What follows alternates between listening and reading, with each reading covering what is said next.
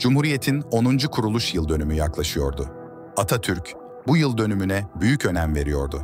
Ekim ortalarında Genel Sekreter Hikmet Bayur'a 10. yıl dönümüne ne söyleyeceğiz? Düşünüp bir şeyler hazırlayalım dedi. Bunun söylemesinin üzerinden iki gün geçmişti ki Yaveri Atatürk'ün uyandığını haber verince gündelik işleri konuşmak için her zamanki gibi Atatürk'ün çalışma odasına gitti. Özel kalem müdürü Hasan Rıza Soyak da oradaydı. Bayur, günlük raporunu sunmaya hazırlanırken, Atatürk, bu gece çalıştım, nutku yazdım, dedi. Bayur için sürpriz değildi bu. Atatürk, çoğu zaman bir konuda hazırlık yapılmasını ister. Ama gece misafirlerini uğurladıktan sonra oturup o konuda kendi bir çalışma hazırlardı. Atatürk el yazısıyla yazılmış sayfaları Bayur'a uzattı. Bayur, düşüncelerini çekinmeden söyleyen, içtenliğiyle Atatürk'ün güvenini kazanmış bir genel sekreterdi. Taslağı okuyan Bayur son cümleye takılmıştı. Atatürk o son cümlede şöyle diyordu.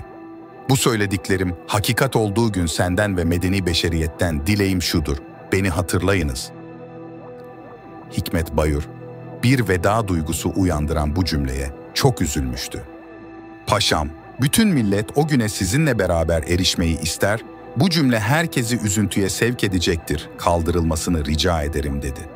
Hem zaten bunları gerçekleştirmek sizin için güç ve uzun zaman ihtiyaç gösteren bir şey değil ki. Milli mücadele zamanındaki gibi çalışırsanız bunu az zamanda başaracağınıza şüphe yoktur. Fakat şimdiki gibi sofradan yatağa, yataktan sofraya giderseniz tabidir ki geç ve güç olur. Onu sakin bir şekilde dinleyen Atatürk, Hikmet Bayur'un biraz az işittiğini bildiği için özel kalem müdürü Hasan Rıza Soyak'a yavaş bir sesle adamın samimiyetini bilmesek darılacağız dedi. Sonra Bayur'a döndü, pekala, ver bakalım.